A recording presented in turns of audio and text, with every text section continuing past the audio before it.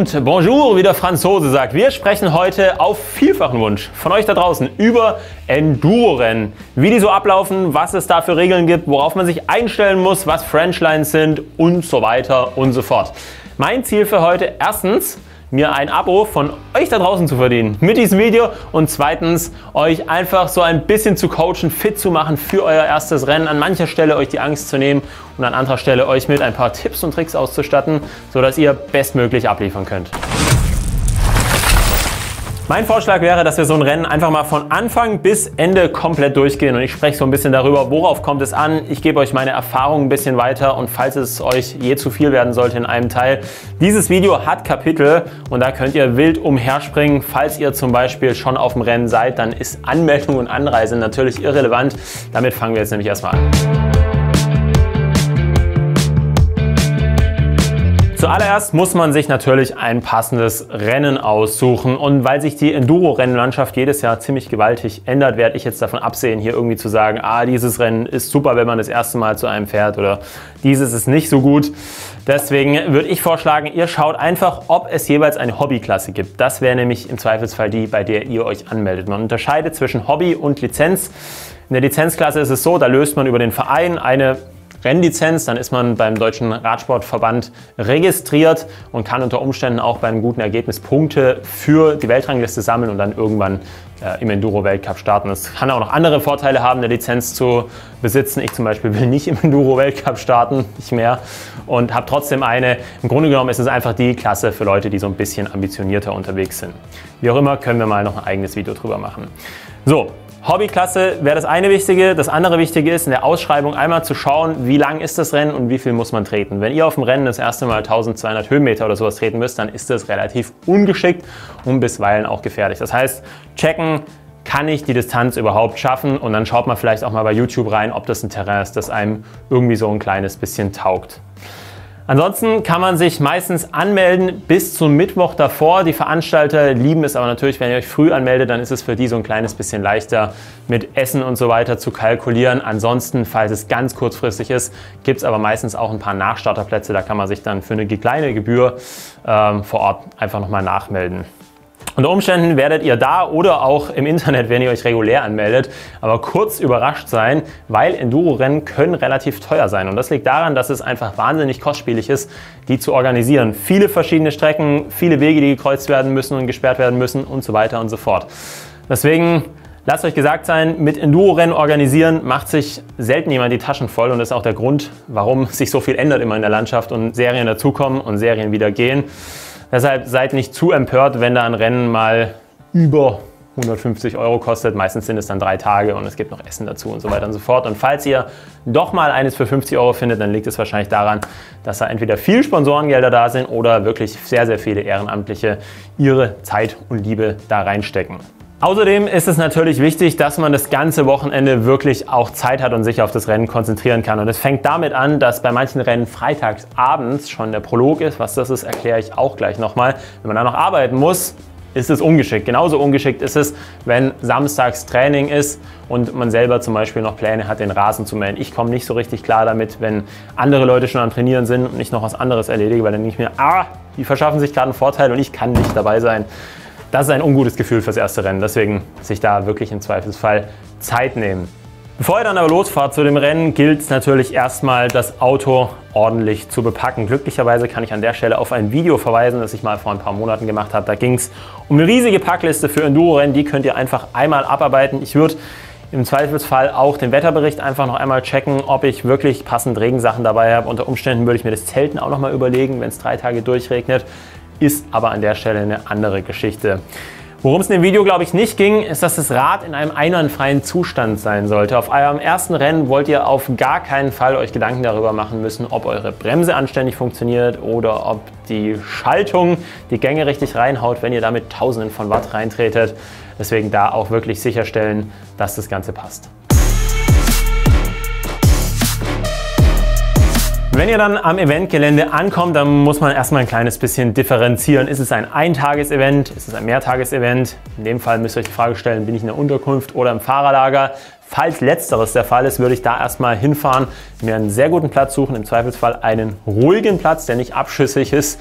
Guter Schlaf ist wichtig, da alles aufbauen und dann geht es zur Startnummernausgabe. Da würde ich in jedem Fall als erstes hingehen, bevor ich ins Training fahre, weil ohne Startnummer wird einem manchmal der Zugang zu den Stages verwehrt. Und gerade wenn man irgendwie denkt, oh, wir gehen direkt ins Training, weil wir so spät angekommen sind, dann ist es natürlich doppelt ärgerlich, wenn man dann überhaupt gar nicht trainieren kann. Die Startnummer wird im besten Fall einfach mit zwei Kabelbindern am Lenker befestigt und ich spreche da aus jahrelanger Erfahrung, wenn ich sage, dass eine ästhetische Startnummer schon mal ganz, ganz viel zu einem guten Rennwochenende beiträgt. Ich habe da unter Umständen auch immer mal Locher mit dabei gehabt. Gerade wenn die Kabelkonstruktion vorne so ein bisschen von der Norm abfällt, kann sowas wirklich helfen. Gibt so auch moderne Startnummern-Boards, aber würde ich jetzt eher mal unter Schnickschnack oder Pro-Equipment abstempeln. Ansonsten werdet ihr einen Transponder kriegen, der ist dann am Renntag dafür verantwortlich, dass eure Zeiten auch genommen werden. Und auch da spreche ich jetzt nur wieder für mich. Mir gehen an einem Rennwochenende so viele Dinge durch den Kopf, Lines, Startzeiten und so weiter und so fort, dass ich an einem Sonntagmorgen gut und gerne auch mal den Transponder vergessen würde. Deswegen ziehe ich den immer direkt an, wenn ich ihn kriege. Unter der Dusche vielleicht mal aus, aber das Ding ist, glaube ich, eigentlich auch wasserdicht. Und das würde ich euch auch einfach so empfehlen. Direkt dran, dann müsst ihr euch keine Sorgen mehr machen. Bei einigen Rennen gibt es die Möglichkeit, einige oder alle der Stages vor dem tatsächlichen Rennen zu trainieren und gerade bei eurem ersten solltet ihr diese Möglichkeit auch wahrnehmen. Das macht die ganze Sache einfach so ein bisschen sicherer und ihr könnt selbstbewusster in den Renntag reinstarten. Es gilt sich also einmal vertraut zu machen mit dem Streckenplan, welche Stages dürfen trainiert werden, welche dürfen nicht trainiert werden und auch wenn ihr an einer vorbeifahrt, die nicht trainiert werden darf, lauft da nicht rein, fahrt nicht rein, das kann unter Umständen zu Disqualifikation führen. Ihr werdet wahrscheinlich nicht in der Lage sein, Stages doppelt zu trainieren. Ich würde zumindest nicht davon ausgehen, dass es möglich ist. Normalerweise fährt man jede Stage einmal und dann muss man sich natürlich überlegen, wie gehe ich das Ganze jetzt an. Und meine und generell eine beliebte Strategie ist, einfach so viel durchzufahren und so viel Rennen zu simulieren, wie es möglich ist. Ihr müsst da jetzt nicht mit 110% reinhacken, das sollte man auch später im Rennen nicht machen, aber mit 90 Prozent kann man da gut mal reinfahren. Und dann haltet ihr einfach nur an den Stellen an, an denen ihr irgendwas verbockt habt, an denen ihr eine gute Line gesehen habt, an denen, keine Ahnung, euch die Arme zugehen, weil das ist natürlich auch blöd, wenn ihr am Trainingstag schon so viel Energie verschießt, dass ihr am nächsten Tag nicht 100 Prozent geben könnt. Unter Umständen kann man aus dem Aspekt heraus auch mal eine Stage komplett weglassen, wenn ihr dafür nochmal 500 Meter hochpedalieren müsstet. Und das ist vielleicht auch ein ganz guter Punkt, um da nochmal drüber zu sprechen. Bei manchen Rennen ist es erlaubt, zu shutteln oder den Lift zu benutzen. Einige Leute werden sich dafür entscheiden, das zu tun, andere nicht. Meine Empfehlung, tut es. Wenn die Regeln es erlauben, wird es euch den Renntag sehr viel entspannter machen. Unter Umständen könnt ihr dann doch Stage noch zweimal trainieren. Beim Trainieren würde ich mir eine GoPro auf dem Helm schnallen, insofern ihr eine habt. Dann könnt ihr euch am Abend die Stages nochmal anschauen. Alles merken werdet ihr euch eh nicht können, aber man kann sich vielleicht so ein paar Sachen rausschreiben oder so zumindest ein paar Sachen nochmal ein bisschen genauer anschauen. Was für mich auch immer noch wichtig ist, nur weil an einer Stelle ganz, ganz viele Leute stehen, heißt es nicht, dass man auch da anhalten muss und dass man da auch fünf Minuten hinschauen muss. Wenn ihr einmal sauber durchgekommen seid, dann gibt es eigentlich keinen Grund, da nochmal hochzuschieben und irgendwelchen Leuten dabei zuzuschauen, wie sie ihr Leben aufs Spiel setzen. Also lasst euch nicht verunsichern, auch nicht von Leuten, die krassere Lines machen oder sowas. Es gibt keinen Grund beim Enduro-Racen, wenn die Stage-Gesamtzeit bei über 10 Minuten, über einer halben Stunde ist, für ein, zwei Sekunden in irgendeiner Sektion einen Sturz zu riskieren. Am Ende entscheidet da wirklich der Grundspeed. Bei vielen Enduro-Rennen gibt es ein Prolog. Das ist ein Konzept, das sich seit Anbeginn des Enduro-Sports großer Beliebtheit erfreut. Normalerweise wird es nämlich so sein, dass die Startnummern nach irgendeiner Art von Gesamtwertung oder Weltrangliste oder was auch immer geordnet sind. Üblicherweise kriegt die schnellste Person der Gesamtwertung oder der Weltrangliste die Nummer 1. Jetzt gibt es aber natürlich Situationen, in denen, sage ich jetzt mal ganz selbstverliebt, jemand wie ich auf dem Rennen erscheint, der seit langer Zeit keine Rennen mehr gefahren ist, tendenziell aber trotzdem noch relativ schnell Fahrrad fährt. Und ich habe keine Punkte und ab einem gewissen Zeitraum werden die Startnummern dann einfach nur noch nach Alphabet oder irgendwie Zufall zugewiesen. Das heißt, ich könnte vor oder hinter dir starten. Und am Renntag ist es natürlich ein bisschen ärgerlich, weil unter Umständen rollt man da aufeinander auf, muss überholen und so weiter und so fort. Alles so ein kleines bisschen nervig. Und da hat man eben den Prolog erfunden. Das ist eine kurze Strecke, die man vor dem eigentlichen Renntag fährt. 30 Sekunden, Minute, anderthalb Minuten oder sowas. Man startet in der Reihenfolge der Startnummern. Da kann man beim Startnummern holen auch direkt einfach mal seine Zeit anschauen und sein Training dementsprechend anpassen. Schauen, dass man zwischendrin nochmal was isst, vielleicht auch nochmal schläft. Wie auch immer, man startet in der klassischen Reihenfolge und je nachdem, welches Ergebnis man dann reinfährt, wird man am eigentlichen Renntag mit Leuten zusammen in eine Gruppe gesteckt oder in einen Startblock gesteckt, die ungefähr ähnlich gut sind wie man selber. Das hat den Vorteil, dass man beim Bergauffahren schön miteinander quatschen kann. Wahrscheinlich ist man ungefähr gleich fit und man wird wahrscheinlich auf niemanden aufrollen. Der Prolog, und das ist ganz wichtig, zählt schon in die Gesamtwertung des Rennens hinein. Das heißt, es lohnt sich hier schnell zu fahren. Und ich habe immer so ein bisschen die Philosophie verfolgt, dass ein guter Prolog schon mal einfach eine schöne Vorbereitung für das ganze Rennen ist. Also eine gute Platzierung im Prolog gibt einfach einem einen guten Schlaf in der Nacht vorm Rennen. Wenn man es so ein bisschen verbockt hat, dann man, startet man direkt mit so einem unguten Gefühl rein. Also da ruhig schon mal ein bisschen zeigen, wo der Hammer hängt und dann ab ins Bett. Der Renntag startet am selben Ort wie auch der Prolog, das heißt im Eventgelände normalerweise. Da wird einmal euer Transponder aktiviert und am Ende begebt ihr euch auch dahin wieder zurück, damit die Zeiten ausgelesen werden können. Das war auch am Prolog so der Fall, ganz wichtig. Naja, ihr taucht da auf jeden Fall auf, ihr findet euren Startblock und dann gurkt ihr gemeinsam zur ersten Stage los. Ihr solltet zu dem Zeitpunkt wissen, ob die Transferstrecken zwischen den verschiedenen Stages in einer gewissen Zeit bewältigt werden müssen, weil es verpflichtende Startzeiten an den jeweiligen Stages gibt oder ob ihr euch Zeit lassen könnt und einfach entspannt fahrt. Wenn dem so ist, und so ist es bei den allermeisten Hobbyrennen, dann nehmt euch auch die Zeit. Es wird nur bergab gewertet. Es gibt überhaupt gar keinen Grund, die Weltmeisterschaft bergauf zu gewinnen. Ihr sollt eure Energie wirklich nur bergab verbrauchen. Naja, und dann fahrt ihr einmal da hoch und dann kommt ihr hoffentlich bei der ersten Stage an. Und da sprechen wir jetzt erstmal kurz über den Start, über das Ziel und was es für Vorkommnisse auf der Strecke geben kann. Danach gehen wir so ein kleines bisschen in die Strategie rein. Der Start, das ist meistens eine Art Gatter, also auf zwei Seiten Flatterband. Irgendwo hinten drin hängt ein Sensor und der wird dann eure Zeit am Transponder auslösen. Deswegen ist es auch ganz wichtig, nicht zu nah an den Start ranzugehen, nicht dass eure Zeit schon früher auslöst und ihr euch dann damit rumschlagen müsst. Und dann, wenn ihr da oben vor dem Start steht, entspannt ihr euch erstmal ganz kurz. Wahrscheinlich seid ihr ein bisschen geschafft vom Hochfahren Vielleicht trinkt ihr kurz was, vielleicht esst ihr was. Auch das ganz wichtig über den Tag beibehalten. Am besten macht euch da irgendwie eine Strategie. Auf jedem Uphill irgendwie ein Gel oder jedes Mal, wenn ich ins Ziel komme, was trinken, was essen. Darauf wirklich achten, sonst habt ihr einfach keine Energie mehr am Ende. Naja, wenn ihr oben ankommt, kurz entspannen.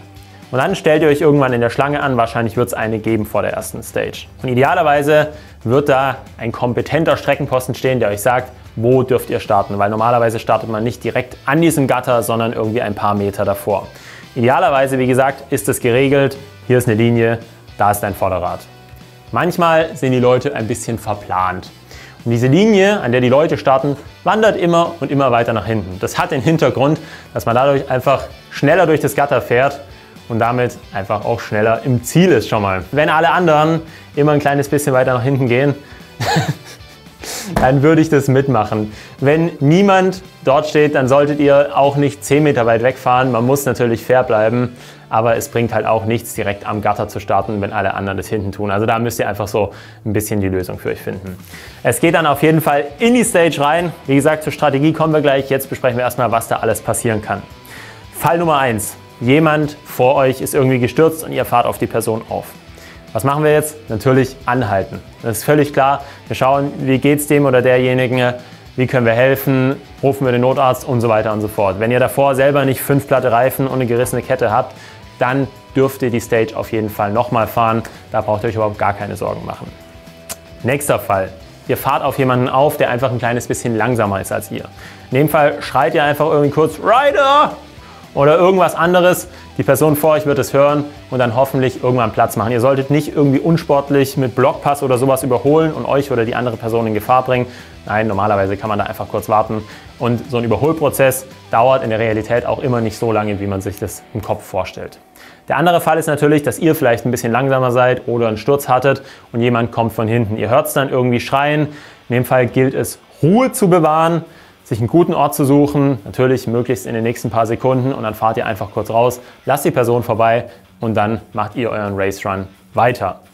Irgendwann kommt ihr dann im Ziel an und da erwartet euch ein weiteres Gatter. Da schießt ihr komplett durch. Meistens ist der Sensor am Ende, also nicht irgendwie davor bremsen. Und dann solltet ihr euch erstmal ein bisschen entfernen, weil auch andere Leute werden da durchschießen und ihr wollt nicht irgendwie umgefahren werden.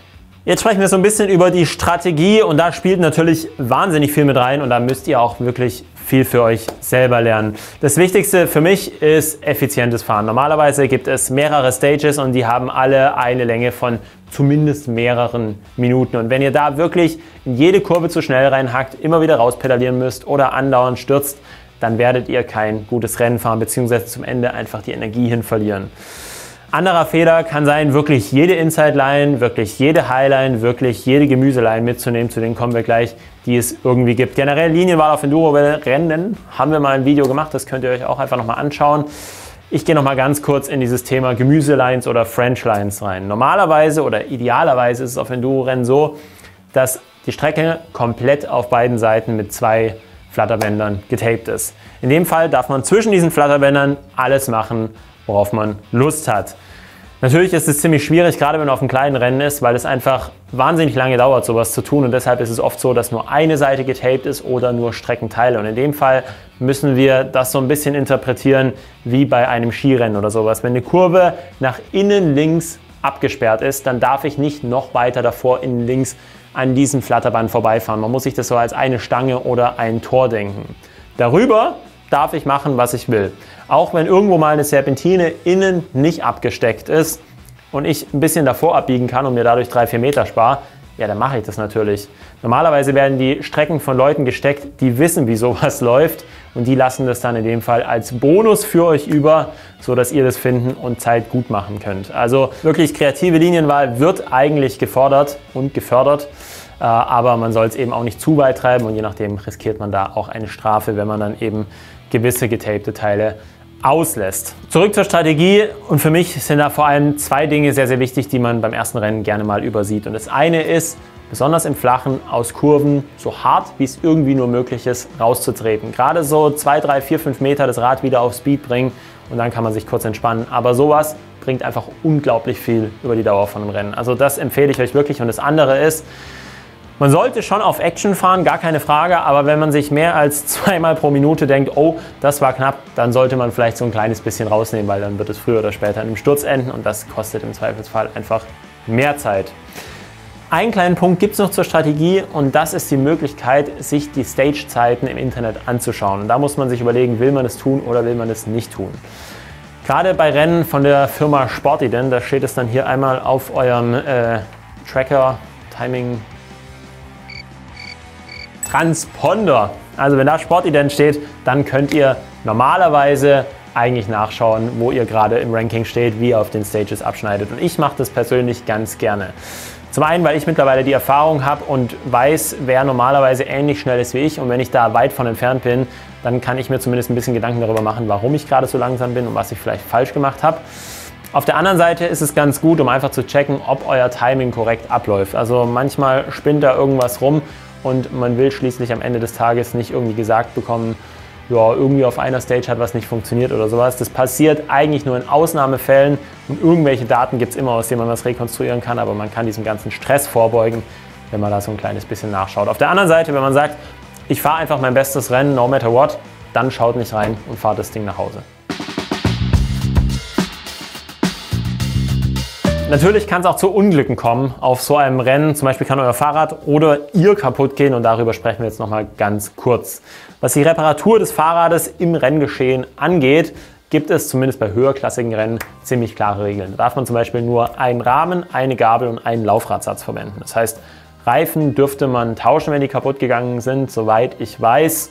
Lenker auch, Rahmen wie gesagt nicht. Gehe ich nicht davon aus, dass ihr jetzt einen Ersatzrahmen bei eurem ersten Rennen dabei habt. Aber falls doch oder Laufräder, dann checkt einfach nochmal im Regelwerk, dürft ihr das tauschen oder nicht. Was ist jetzt aber zum Beispiel, wenn ein platter Reifen oder ein Kettenriss auf der Stage passiert? Man kann sich jetzt natürlich dazu entscheiden, das auf der Stage zu reparieren und sagen, okay, die ist mir egal. Ich fahre auf einzelne Stages und nicht auf Gesamtwertung. Dann kann man sich kurz nebenan setzen und das machen. Ich würde aber, glaube ich, immer durchziehen äh, bei einem platten Reifen. Wenn man natürlich so ein tubeless Reparierkit dabei hat und geübt ist, dann kann man da auch kurz die Nadel reinjagen und weiterdüsen. Vielleicht ist es dann besser, als die nächsten fünf Minuten noch mit den Platten rumzufahren. Aber wenn man bei der Hälfte der Strecke ist oder so, ich würde es einfach immer durchziehen. Normalerweise hat man Inserts drin, dann geht da auch nicht so schnell viel kaputt. Kettenriss immer erst unten machen, notfalls Tretroller oder Rennen. Es wird auf jeden Fall schneller sein.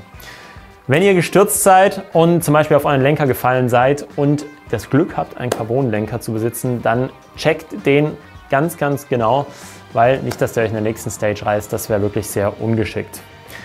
Wenn ihr gestürzt seid, was ja in dem Beispiel gerade so war, dann solltet ihr auch zumindest noch mal einen kleinen Moment innehalten nach der Stage und euch noch mal durchchecken komplett. Oftmals merkt man im ganzen Adrenalin gar nicht, ob einem etwas wehtut, wie schwer man sich wehgetan hat. Falls ihr euch irgendwie unsicher seid und komisch fühlt, dann geht auch unbedingt zu den Sunnies. Die können dann vielleicht einschätzen, ob ihr eine Gehirnerschütterung habt oder nicht. In dem Fall auf gar keinen Fall weiterfahren und auf gar keinen Fall solltet ihr auch weiterfahren, wenn sich euer Zustand irgendwie verschlechtert, lieber direkt ins Krankenhaus und abchecken lassen, als irgendwie durchzubeißen und ins Ziel zu kommen. Und das ist unser letztes Kapitel. Und damit sind wir wieder zurück im Land der guten Laune und am Ende dieses Videos und hoffentlich auch am Ende eures ersten Enduro-Rennens. Jetzt sind noch ein paar Sachen wichtig. Erstens, hier ein Abo dalassen, weil wir begleiten euch natürlich auch weiter in eurer Fahrradkarriere, unterstützen euch dabei und wenn ihr uns unterstützen wollt, dann könnt ihr eben dieses Abo dalassen. Ein kleiner Gesellschaftsvertrag, ganz fantastisch. Zweiter Punkt, einmal im Ziel auschecken, Transponder zurückgeben. Da kriegt man im Zweifelsfall auch ein bisschen Geld zurück. Das ist eine feine Sache. Und drittens, es gehört sich meiner Meinung nach ein kleines bisschen bis zur Sieger- bzw. Siegerinnen-Ehrung da zu bleiben und da ein bisschen zu klatschen. Das hat außerdem den Vorteil, dass man mit den neu gewonnenen Freunden so nochmal ein bisschen reflektieren kann. Wie war dein Rennen? Oh, wie war es bei dieser Wurzel? Es ist eigentlich der schönste Teil des Tages, muss man sagen. Was ihr auch noch machen solltet, ist jetzt einmal in die Kommentare schreiben, was ich so alles vergessen habe. Ich habe mir nämlich gerade hier ohne Skript einfach 30 Minuten wahrscheinlich von der Seele geredet und da war garantiert nicht alles mit dabei. Schreibt also rein, was ihr den Leuten raten würdet, die das erste Mal ein Rennen fahren. Und wenn ihr das erste Mal ein Rennen fahrt, dann schreibt doch einmal drunter, wo das ist und oder wie es gelaufen ist. Wir sehen uns beim nächsten Mal. Tschüssi!